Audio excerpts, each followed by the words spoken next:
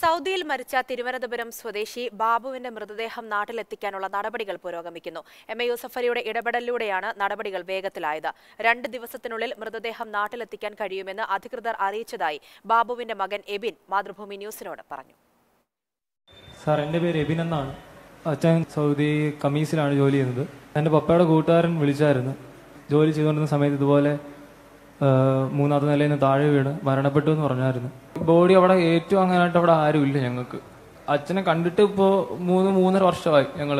ഖമീസ് മുഷിയത്ത് എന്ന് പറയുന്ന സ്ഥലത്ത് ബിൽഡിങ്ങിൽ നിന്ന് വീണ് നിങ്ങളുടെ അച്ഛൻ മരണപ്പെട്ടു. ബോഡി ഇപ്പോൾ അവിടെ മോർച്ചറിയിൽ ഹോസ്പിറ്റലുണ്ട് അല്ലേ? എന്നിട്ട് അവർ പോസ്റ്റ്മോർട്ടം കഴിഞ്ഞ് ആ ബോഡി ഏറ്റുവാങ്ങി നാട്ടിലേക്ക് നിങ്ങൾക്ക് കിട്ടണം. അതല്ലേ ഇഷ്യമുള്ളൂ അത് ഞാൻ ചെയ്യിപ്പിച്ചു തരാം. വിദേശത്ത് നിന്ന് അച്ഛന്റെ മൃതദേഹം നാട്ടിലെത്തിക്കാൻ ഒരു മകന്റെ അഭ്യർത്ഥന. എം എ യൂസഫലിയുടെ ഇടപെടൽ. അതിന്റെ നടപടിക്രമങ്ങൾ പുരോഗമിക്കുകയാണ്. ഇതിനെ അച്ഛന്റെ മൃതദേഹം എന്ന് നാട്ടിലെത്തിക്കാൻ കഴിയുമെന്ന് തോന്നുന്നു.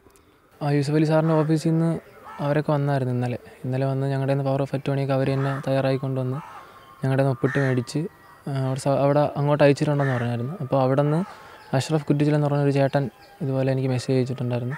അപ്പോൾ ആ ചേട്ടൻ പറഞ്ഞ് എടാ പേപ്പറൊക്കെ തർജമ ചെയ്യാൻ കൊടുത്തിട്ടുണ്ട്.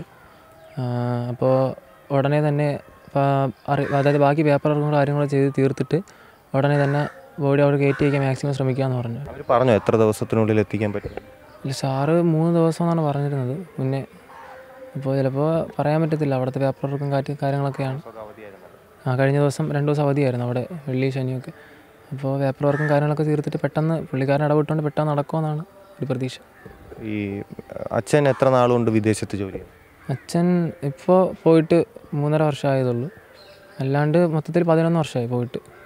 ഗൾഫിൽ പോയിട്ട് പതിനൊന്ന് വർഷമായി ഇത്ര അപകട സാധ്യതയുള്ള സ്ഥലത്തായിരുന്നു ജോലി?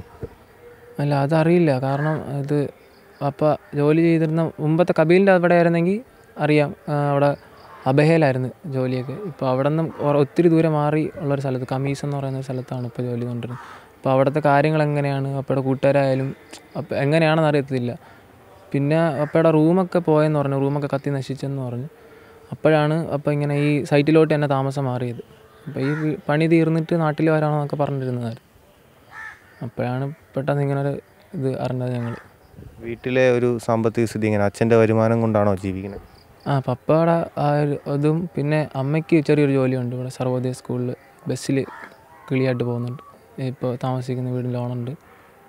അപ്പോൾ അതും എല്ലാം ഈ ലോണൊക്കെ അടച്ചു തീർക്കാൻ വേണ്ടിയിട്ടാണോ അങ്ങ് ഗൾഫിൽ പോയത്? ആ ലോണ് പിന്നെ വീടിന്റെ പണി ഉണ്ടായിരുന്നു ബാക്കി. അങ്ങനത്തെ കുറച്ച് കാര്യങ്ങളൊക്കെ. മൂന്നര വർഷമായി എബിൻ അച്ഛനെ നേരിട്ട് കണ്ടിട്ട്.